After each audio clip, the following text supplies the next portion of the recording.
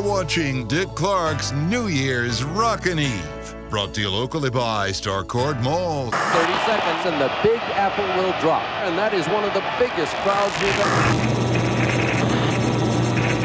Digital ABC clock on the right-hand side of your screen as we count it down into the new year of 1985. It's just about midway down the pole when it reaches that bottom.